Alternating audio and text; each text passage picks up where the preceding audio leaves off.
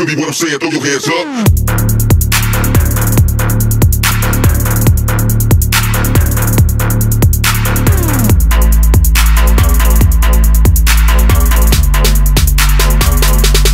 Throw your hands up.